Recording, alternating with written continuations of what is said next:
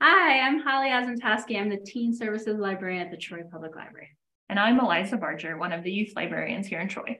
Summer's coming up shortly. You know what that means? It means summer reading program will start again, specifically on Friday, June 16th. We have an amazing teen summer reading program started or planned for grades 7 through 12.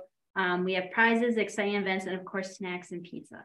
You can win individually by earning points for every 50 pages you read, attending teen programs, or completing activity badges such as volunteering.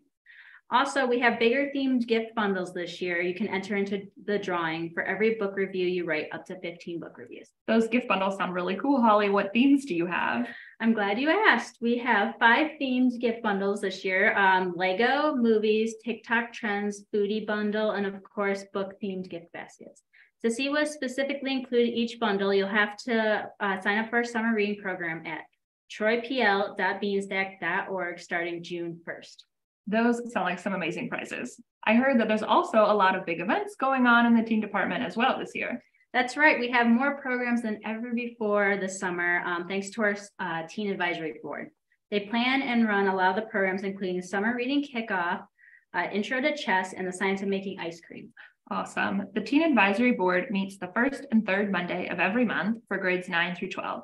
It's a great way to get volunteer hours and get involved in the community. Um, I didn't mention our biggest program. Um, we're putting on a Shark Tank workshop. Um, it'll be four meetings where we go over business concepts, uh, break up into groups, and create our own product ideas. These ideas will be presented to judges for prizes.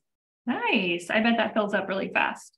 It does. A lot of our programs fill up really fast, so you want to sign up for these ASAP uh, through our events calendar on the Troy Public Library's website. There are, of course, more programs than the one we mentioned today, such as Face Painting 101, college prep programs, our young adult writers workshop, high school hacks, and SAT practice exams. They're all listed on our website, so please be sure to check it out. Remember, you can register for the summer reading pro program starting June 1st at troypl.beanstack.org. You can register, start registering your books June 16th. If you have any questions, contact the library or me, Holly Azantoski, the Teen Services Library.